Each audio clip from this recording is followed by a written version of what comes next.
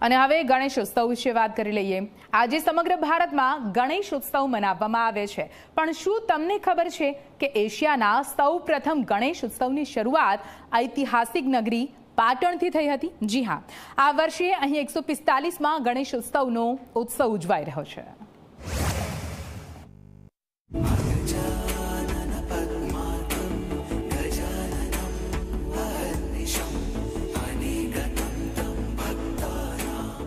કહેવાય છે કે લોકમાન્ય તિલકે સ્વતંત્રતા સંગ્રામની ચળવળમાં લોકોને જોડવા અઢારસો ત્રાણુંમાં પૂનાથી સાર્વજનિક ગણેશોત્સવની શરૂઆત કરી હતી.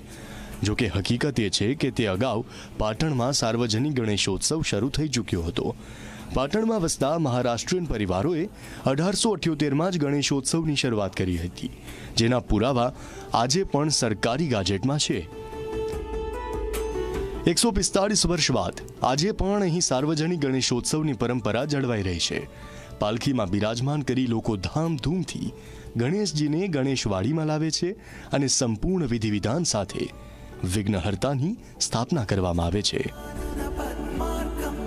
અઢારસો ઇઠ્યોતેરની અંદર પાટણમાં વસતા મહારાષ્ટ્રીયન પરિવારો દ્વારા આઝાદીના ચળવળના ભાગ સ્વરૂપે અહીં ગણેશ ઉત્સવની શરૂઆત કરવામાં આવેલી.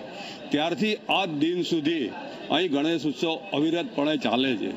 એકસો પિસ્તાલીસ વર્ષ પહેલા જે મેજરમેન્ટ અને જે માપથી મૂર્તિ બનાવવામાં આવી હતી, એ જ મેજરમેન્ટ અને એ જ માપથી આજે પણ મૂર્તિ બનાવવામાં આવી છે.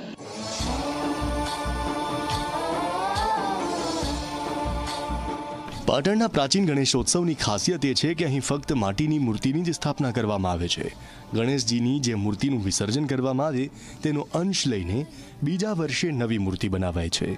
એટલે કે આ વખતની મૂર્તિમાં એકસો પિસ્તાળીસ વર્ષ જૂની મૂર્તિના અંશ હાજર છે. મૂર્તિનું માપ પણ પ્રથમ મૂર્તિના માપ પ્રમાણે જ રાખવામાં આવે છે. એકસો ને ચુમ્માલીસ વર્ષ પહેલાં જે અહીંયા ગણપતિની જે મૂર્તિ માટીની બનાવેલી હતી એનું જ્યારે જ્યારે વિસર્જન થતું, ત્યારે એનો અંશ લઈને જ્યારે બીજા વર્ષે જ્યારે માટીની મૂર્તિ બનાવવામાં આવતી, ત્યારે એનો અંશ એમાં ઉમેરવામાં આવતો. એટલે કે એકસો ને ચુમ્માલીસ વર્ષ પહેલાની જે મૂર્તિનો જે અંશ છે, એ આજે આજની મૂર્તિમાં પણ આપણને જોવા મળે છે. પ્રાચીન ગણેશજીનું વિસર્જન અનંત ચતુર્થીના દિવસે જ કરવામાં આવે છે. અહીં અનંત ચતુર્દશીના દર્શનનું અનેરું મહત્વ છે. સ્થાનિકોનું માનીએ તો આ દિવસે માનેલી મનોકામના જરૂર પૂરી થાય છે.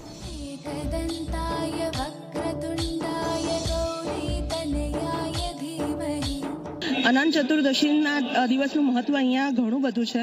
અનંત ચતુર્દશીને દિવસે અહીંયા રાત્રે ભજન કીર્તન થાય છે અને સવારે ચાર વાગે ભક્તજન પોતાની માનતા માગે છે. બધા ભક્તજનોની માનતા પૂર્ણ થાય છે. એટલા માટે અહીંયાના ગણપતિનું મહત્વ ઘણું વધારે છે. આ ગણેશ મહોત્સવ ઐતિહાસિક નગરી પાટણનું ઐતિહાસિક મહત્વ ઓર વધારે છે. સાથે જ પાટણનું નામ દેશભરમાં પ્રસ્થાપિત કરે છે. આ બાબત ગુજરાતનું ગૌરવ પણ વધારનારી છે. પ્રેમલ ત્રિવેદી ઝી મીડિયા પાટણ.